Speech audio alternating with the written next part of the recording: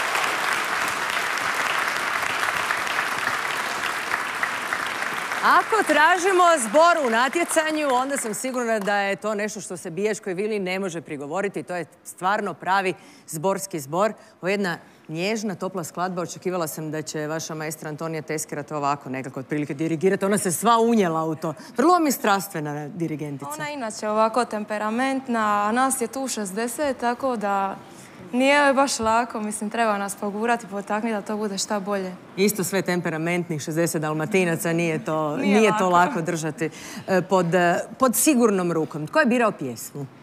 Pa između par ponuđenih mi smo se dvumili i na mhm. kraju smo nekako svi zajednički to odabrali, inače smo dosta složni pa onda... Nemate problema s ovim generacijskim jazom? Ovi stariji bi pjevali malo nešto drugčije, vi mlađi neko drugo? Nema, nema. Mi to sve zajednički. Stari slušaju vas mlađe, jel? Moraju, normalno. E, zvučali ste prekrasno, to je prekrasna skladba. Evo, vjerujem da će se i žiri složiti s mojim mišljenjem. Duška? Apsolutno, mi mladi jako volimo Dadu Topića, apsolutno. Barbara, e, Sanja, rekla si svoje savjete za početak, a onog trena kad sam ja rekao što će pjevati, ovako je žiri samo uzdahnuo. Ah, pa Sanja, da čujemo, je li bilo ah ili kako je bilo? Ah, iz više razloga. Prvi razlog? Prvi. Moram priznati, očekivala sam ipak malo Dalmacije. Srce Dalmacije, Kaštela, očekivala sam nešto čuti. E, to je prvi razlog ah. Drugi ah što mi je Dado Topić i da li znaš da te volim jedna od omiljenih pjesama te naše generacije kad smo bili nešto mlađi i nešto mršaviji nego danas. Samo mlađi? Samo mlađi. Mislim. E, lijepo ste, lijepo ste zazvučali. Eto, vjerujem da ćemo imati šanse vas čuti još i u nekom drugom izričaju.